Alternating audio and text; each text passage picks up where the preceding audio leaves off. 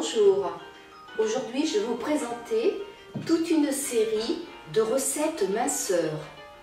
Alors ce sont des recettes express, donc très rapides à faire, simples, à la portée de tout le monde et surtout très savoureuses. La suite en images. Aujourd'hui, une recette ultra rapide, salade de haricots verts, olives noires, oignons échalotes et un œuf. Assaisonnement, citron, persil, sel et huile. Alors moi j'ai choisi des haricots verts surgelés. Je vais donc les plonger dans l'eau bouillante avec du gros sel pendant 8 minutes.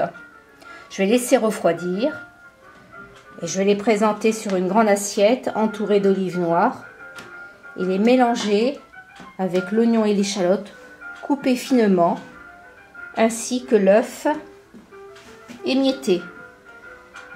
Et pour l'assaisonnement, donc je vais mettre un jus de citron, de l'huile d'olive, sel et poivre et je vais mettre du persil dessus. La suite en images.